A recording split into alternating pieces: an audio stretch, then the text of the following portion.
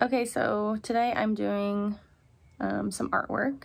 Um, sorry, my voice is like morning voice for sure. So I have a tapestry that we framed in the living room and I'm gonna take that out and DIY my own canvas and do my own artwork for the living room. I did a mock-up the other day and um, this is what I am going with. This is kind of like my guide since it is such a large piece. I wanted to have some sort of direction. I'm going to be doing my own gesso and making my own canvas. So I'll show you all the steps and the process of doing that. Yeah, I've been wanting to add color into my design for the apartment trying to challenge myself because you know 99% of the time I am a neutral girl we're just experimenting and I think your own home is the best place to experiment because you have complete control over what goes in or out. So anyways, let's get started.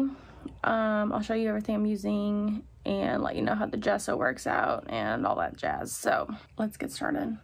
So this is the tapestry that I'm gonna be removing and doing the artwork for. It's obviously like a big part of the living room because it takes up that whole side of the fireplace, that wall there. Definitely gonna make a statement and let's hope it makes the right one. But yeah, we got this um, from Society 6. We always said it kind of looks like a little face, like the smiley face, the smiles, and then the chin, and the nose, and like, I don't know, the hat or something, or the eye, I don't know. So I've cleared out some space here. I need to vacuum, it's quite dirty. So yeah, we'll take that out and get started on making the gesso and doing the canvas and everything. Okay, so I got all the fabric and the tapestry off the frames. Um, so this one, this that I'm holding here is the canvas frame, and this is like the picture frame. So obviously I'm just gonna wrap the one.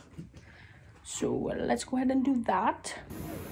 So I noticed that my drop cloth has this seam running down the middle, so I'm hoping that I can fit the frame inside of that because I think there's enough space. Sorry if you can hear that dog barking. Our neighbors just got a dog and it's uh, been annoying, but whatever. Okay, so I'm gonna start on this side here and I'm just gonna basically wrap this around and then staple it down, but I think I'll start in the middle and work my way out feel like the first side isn't the first side is mainly just to tack it in place and then you really pull with all your might.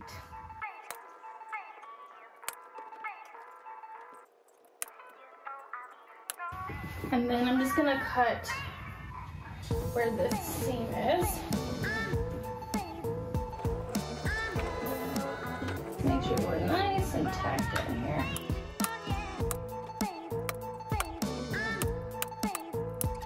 I'm gonna pull it in the middle and stretch it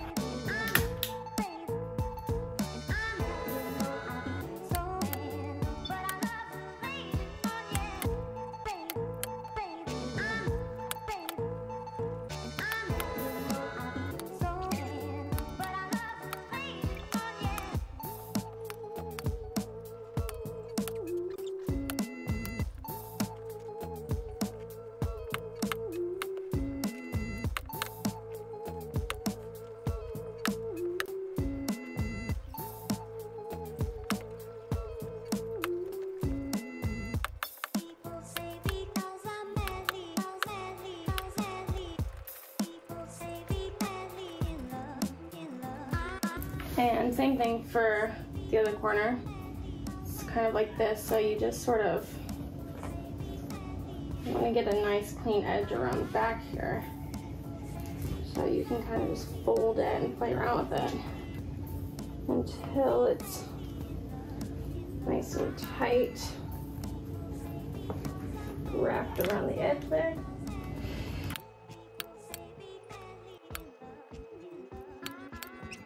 So I'm gonna attempt to make my own gesso and I found a recipe online from 3amgallery.com. I wrote down the measurements here. Um, so I'll put the measurements on the screen in case you want to try this. But I'm gonna maybe veer a little bit because she says to use acrylic paint and I'm gonna be using this primer, which I think is acrylic paint, but I'm not 100% sure. And I only have a little bit left in here. So I'm just gonna pour everything into here, mix it up, and cross my fingers that this actually works. Okay, so first is one part glue. And the parts, I think I'm gonna use like half of this as a part.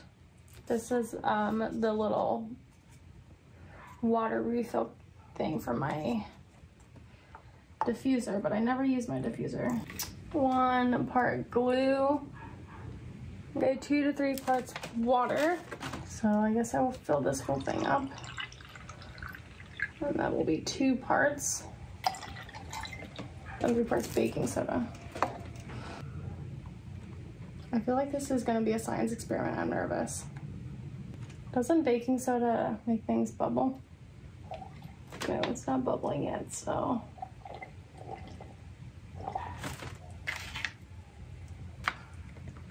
Cornstarch.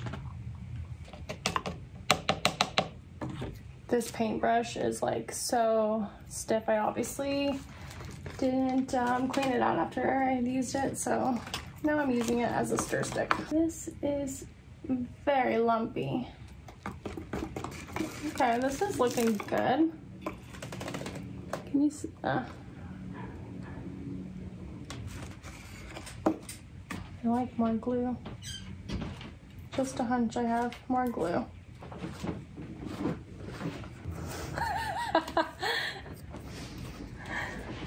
You're funny. My husband is being funny. All right. It's like burning my eyeballs. Do you think I need more cornstarch or something? It feels really liquidy. Now I'm completely winging it. Should have just bought some. It's expensive though. All right, we're gonna go with this. This feels better. Let me show you what we're what we're looking like. Definitely liquidy, but it's nice and thick definitely coats that fork really well, so.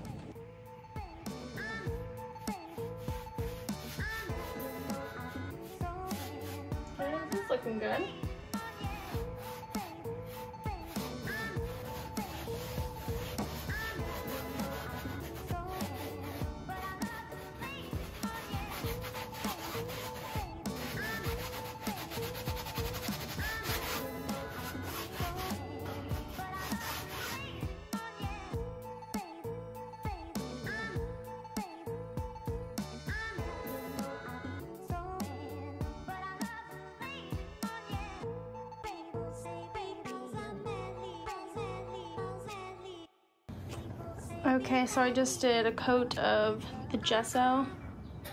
I just had enough of it, so I might, it's pretty streaky as you can see, so I think I'm gonna do another batch and do another coat once this dries. So I think my first coat is dry, pretty much. Um, I would say it feels like a little chalky. Maybe not. Maybe it's just some other spots. Yeah, I just went to the store and I just bought some gesso from the art store and um, this one was pretty affordable. It was only it's under $12. So I was just thinking, I hope that this lasts. Like I want this painting to obviously last pretty long. Um, so I figured just going with the store-bought one is probably better than the homemade one for longevity reasons. And I'm gonna do another coat because it's kind of patchy, but I'm not gonna film that. I'm just gonna paint over it and I'll show you when I start actually filming. But I just wanted to like make that note that I am gonna use a proper store-bought gesso for the second coat and hope that that works and hope it's not weird that I'm doing like two different products um, on top of each other, but we'll see. Okay, see you soon. All right, so I cleared out a little corner. This is like where the painting would go, but I just cleared out the space. Normally the chair is sitting there. But yeah, I can paint over here now and just like leave it up, hopefully. Because I'm imagining this is going to take me a few days, weeks. I don't really know how long a huge painting like this is going to take. But I'm getting ready to have a little painting session. I have the apartment to myself tonight, which is very rare, so I'm taking advantage of the opportunity. And I'm gonna get a little creative. Let's paint.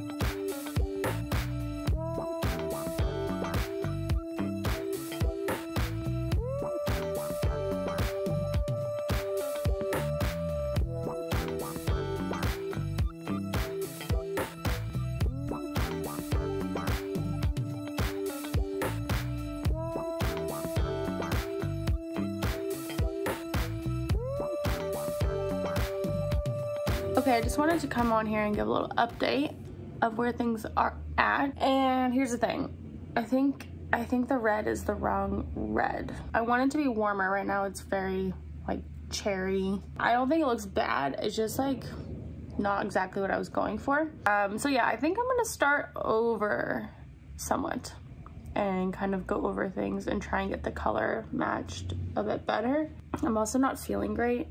I think I'm getting sick and my body ache is like aching all over. So we'll see how long this actually lasts, but that's where I'm at.